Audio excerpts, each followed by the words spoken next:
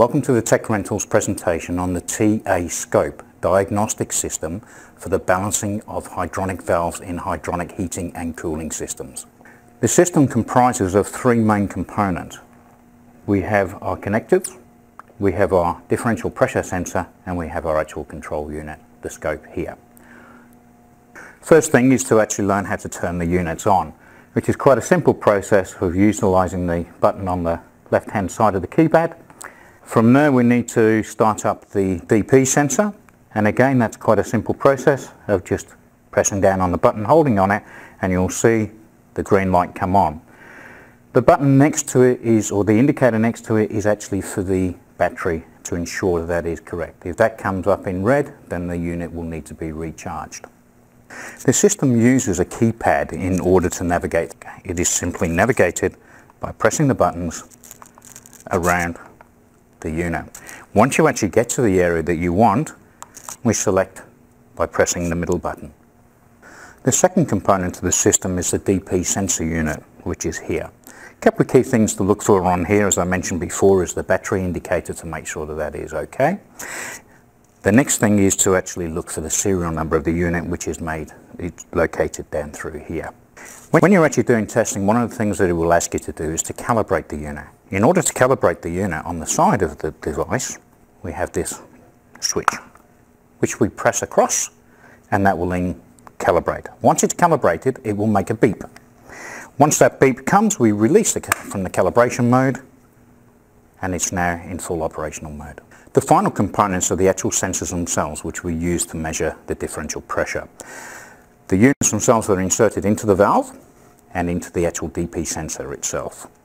They are color coded, red for the high pressure side of the valve and blue for the low pressure of the side of the valve. Now that we've identified the actual components of the system, the key thing to do once we have this running is to actually make sure that this device can talk to the sensor. To do that we go back down using the arrow down button and then the arrow across to navigate across the screen to where we have the information.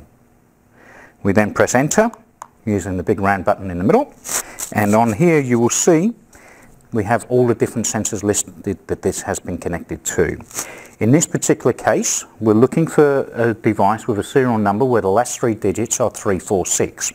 You can see if we highlight the actual sensor, it will tell us which one is connected to. The second thing to look for is to ensure that the unit is in calibration. By selecting the actual unit, the full information and status of the unit is displayed in the lower part of the screen. Okay, so now that we've identified all of the components, what we need to do is to start taking some measurements.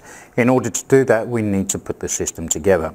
Quite a simple process of taking the different sensors and inserting them, making sure we have everything color-coded, blue to blue and red to red.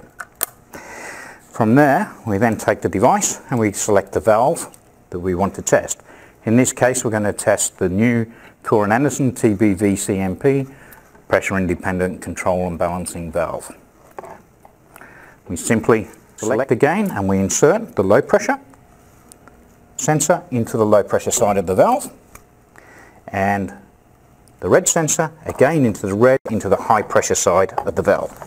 Just simply push down and click and make sure it's all fully connected. Now that we've put the system together, the next thing that we need to do is to start taking some measurements. In order to do that, we select the quick measure selection using the keypad as per before. We press enter and bring that up. In a case where we're looking to do a, a simple flow measurement, again we select and that brings it up. From there what we do is we will determine what flow rate we require and in this case we're looking for 0.05 litres per second.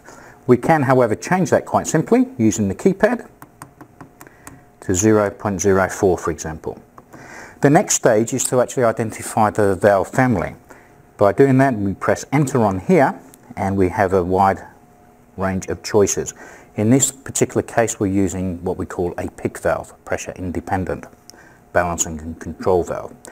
If we were using a standard balancing valve, we can again select from that menu. Once we've selected the type of valve that we're using, we can then select the family, which as I've mentioned before is the TBV-CMP. From there we go down and we can select the individual models by utilising the keypad again and we can go up and down until we get the right size and nomenclature of the valve.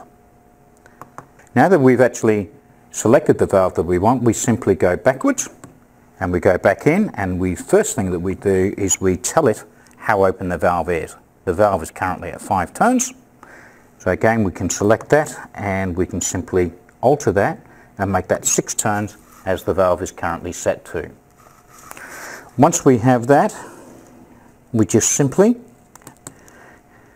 press measure and it will ask us to calibrate as you can see on the screen which again as per before we click